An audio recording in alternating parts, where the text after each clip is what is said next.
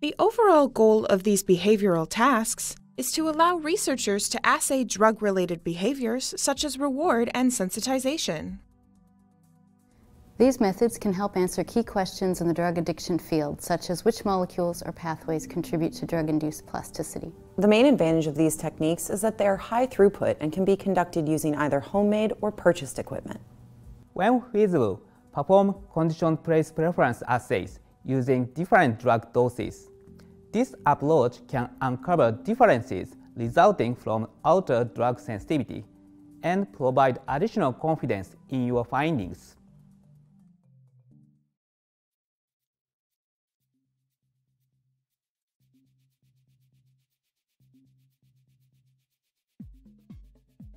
This experiment makes use of three-chambered CPP boxes equipped with photo beams for automated data collection.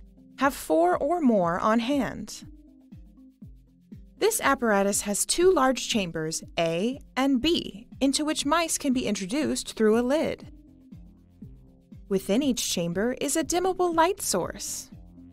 The A and B chambers are made visually distinct, for example, white versus black and also tactilely distinct, such as with different flooring textures.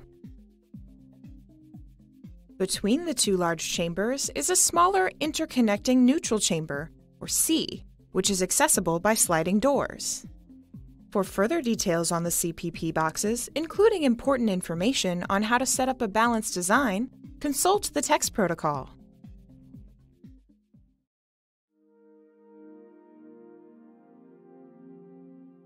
For these experiments,